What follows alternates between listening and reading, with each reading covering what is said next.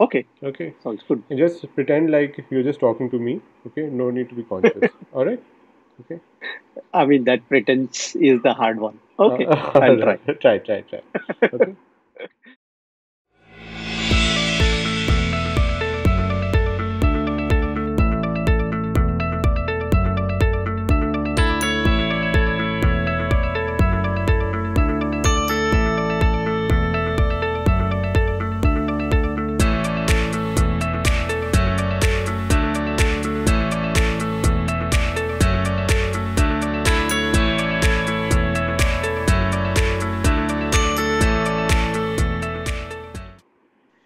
Hi, Srikanta. Congratulations on uh, winning the ECIR uh, Test of Time Award.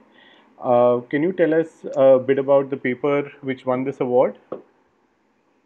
Ah, thanks, Amitabh, uh, for uh, wishes. And yeah, it was actually a very interesting uh, surprise that we got over this period of time when we were locked up.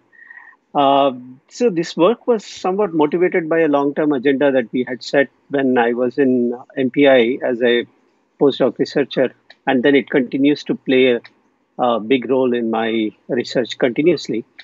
So the paper was basically motivated by the following.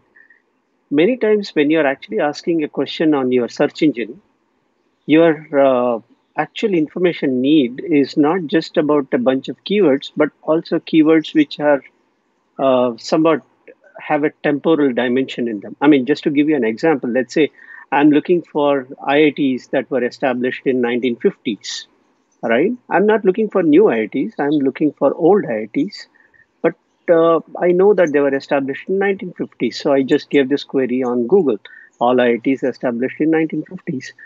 But if you look at uh, Wikipedia pages of various uh, older IITs, including IIT Delhi, IIT Bombay, KGP, and so on, very few of them actually contain the keyword or a word 1950 in them because they were either established in 1951, 58, 59, probably 61, 62.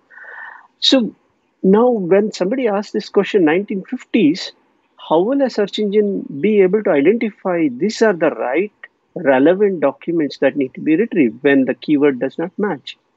So that that's actually the question that we started uh, exploring, and the paper was the outcome of that exploration. So the idea was to actually model time in a very uncertain fashion, the way we as human beings understand time, right? When we say last week, we know it doesn't mean exactly last week. It may mean maybe one or two days before and after. So this is the intuition the paper tried to capture. What is the kind of impact it has had? You must have seen how people have been citing it, how they have been using it. What What is the impact of this work? Adding this temporal dimension into the querying and ranking of uh, under various settings, whether it is text retrieval, web search, knowledge graphs, NLP application, it has continued and become more and more popular over time. And I think uh, we were just fortunate to catch this trend early and uh, wrote a bunch of papers. But it is it is increasingly popular and continues to be highly important problem. Are you still working on those kind of problems? Have you moved on to other things?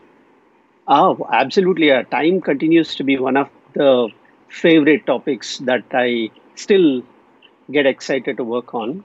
And it's like, for me, time is almost like one of those magical spices that you can add to any dish that you have and make it even more spicy.